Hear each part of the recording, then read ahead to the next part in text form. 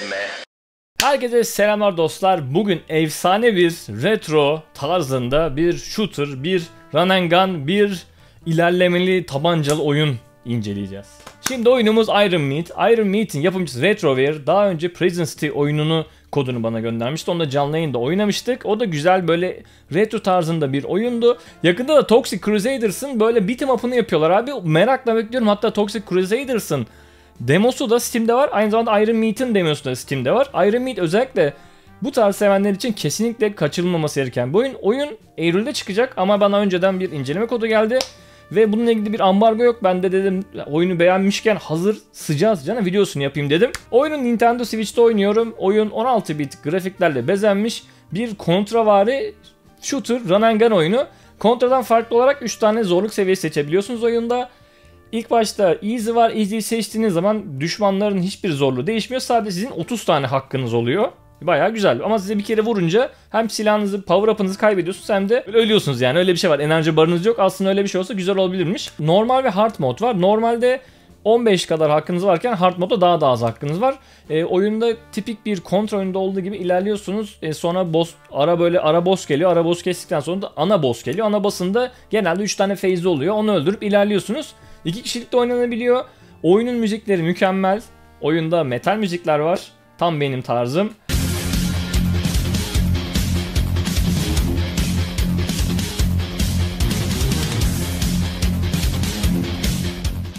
Enstrümantal tabii ki de enstrümantal metal müziklerle oyun bezenmiş.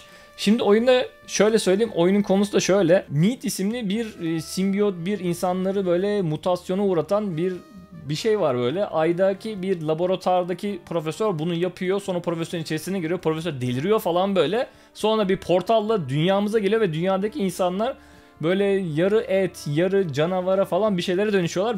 Oyun bayağı da kanlı. Böyle güzel bir konusu var. Ben açıkçası sevdim. Bir de oyunun ana menüsünde çok güzel böyle bir çizimle oyunu anlatan bir demo yapmışlar. Oyuna da ilk girdiğiniz zaman da zaten e, kısaca böyle bir oyunun e, o kısmından bahsediyor size demosundan, hikayesinden bahsediyor. Oyunda seçebildiğiniz karakter Dunga'ya benzettim ama oyunda çeşitli e, skinler açabiliyorsunuz. Çeşitli kostümler, kıyafetler açabiliyorsunuz. Yaklaşık 30 tane varmış. Ben 3-4 tane açabildim. E, ilerledikçe de bunları açabiliyorsunuz. E, oyun gayet keyifli. Özellikle benim gibi bu tarz oyunlarda çok iyi olmayanlar için e, easy modun olması, normal modun olması güzel. Easy modda böyle 30 tane hakkınız oluyor. Hem bölümde de sıfırlanıyor abi geçtiğiniz zaman. Boss'ta böyle 10 tane 20 tane kaybediyorsunuz. Sıkıntı olmuyor.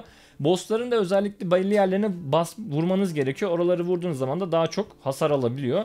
E, arkadaşınızla offline bir şekilde yan yana da co-op oynayabiliyorsunuz iki kişi. Açıkçası ben bunu denemedim ama gayet mantıklı. Bu tarz oyunlarda e, bu şekilde oynamak güzeldir. Oyunu bir oturuşta 4 bölüm falan geçtim. Oyunda 8 tane bölüm var. Her bölümde de böyle e, bosslar geldiği zaman bazen ekran geri geliyor bazen yakınlaşıyor falan. Bunu da sevdim. Oyunda ufak da olsa platform bölümleri de var. E, onun dışında da çok keyifli bir run and shooter dostlar. Oyunda şu anda Steam'de ön sipariş fiyatı yok ama Nintendo Switch'te neymiş fiyatı bakalım. Oyunun Nintendo Switch fiyatı 20 dolar civarında.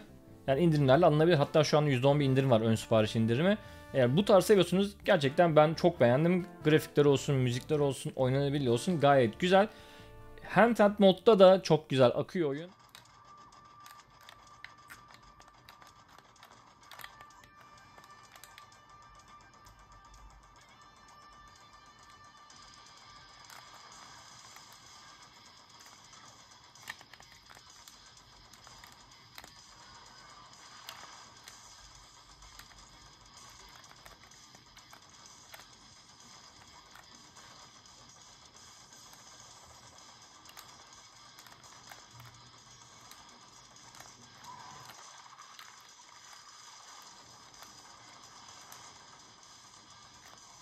No.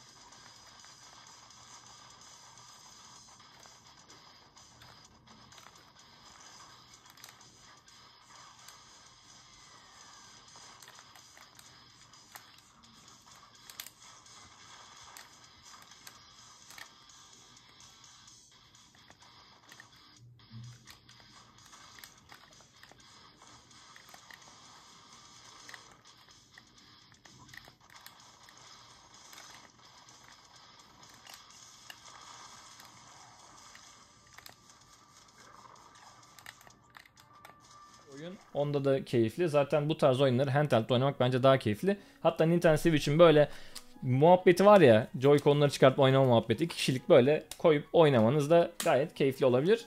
Aynı zamanda Steam'dekiniz varsa oyunu Steam'e alırsanız orada da e, keyifli bir şekilde oynayabilirsiniz. Dediğim gibi oyunun demosu da var. Soundtrack'i çok güzel onu ayrı satın alabiliyorsunuz. Ön sipariş verebiliyorsunuz. Steam fiyatı belli değil. Switch fiyatı da 20 dolar civarı. PlayStation 5'te ve Xbox'ta olacak oyun. Ama oradaki fiyatlarını açıkçası bilmiyorum. Benden bugün bu kadar dostlar. E, Mini incelemenin bir başka bölümünde görüşmek üzere. Sorularınız, yorumlarınız varsa yorumlar kısmına beklerim. Videoyu beğendiyseniz beğenebilirsiniz. Kanalda abone değilseniz abone olabilirsiniz. Gerçekten çok mutlu olurum. Kendinize iyi bakın. Başka videolarda görüşürüz. Bay bay.